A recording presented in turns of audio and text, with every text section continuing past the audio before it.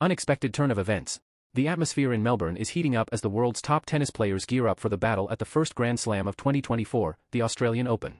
In this electrifying scenario, Andy Murray, the legendary five-time runner-up of the tournament, makes a bold prediction about the highlight of the event, Novak Djokovic.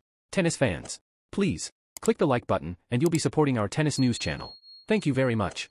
Murray, who has faced Djokovic in four Australian Open finals, believes that the Serbian arrives as the undisputed favorite to clinch yet another title. Despite the promising emergence of a new generation of players, represented by names like Carlos Alcaraz, Jannik Sinner, and Holger Rune, Murray emphasizes that they are not yet fully prepared to overcome the world number one. The Briton makes a special note for Carlos Alcaraz, the young Spaniard who surprised everyone by winning two Grand Slams, including an exciting victory at Wimbledon 2023 against Djokovic. Murray acknowledges the exceptional talent of the Spaniard but warns about the difficulty of facing an opponent with 24 Grand Slam titles and a decade of dominance at the Australian Open. I know that, at the Australian Open, it won't be easy for these young players to defeat Novak in a crucial match.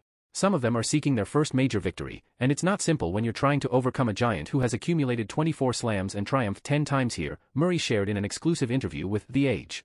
Get ready for a true epic battle at the Australian Open 2024, where Djokovic's experience will collide with the hunger for victory from the new generation. Who will emerge victorious in this generational clash? Stay tuned to find out, and don't miss any moments of this thrilling journey in the world of tennis.